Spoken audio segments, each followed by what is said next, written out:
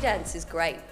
It's not just good, it's great. It's a wonderful opportunity for young people to come together, to experience working with different artists, to bring the work that they've been doing in their areas with their group leaders onto a stage where they get to share that with other young people and other people from the community. So it's just a really, really exciting weekend of young people meeting, exchanging, sharing, and that thrill of getting on a stage.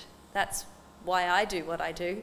I remember that when I was young, and that was really important, really informative. Those positive experiences as a young person performing, that really drives and shapes where you head in the future.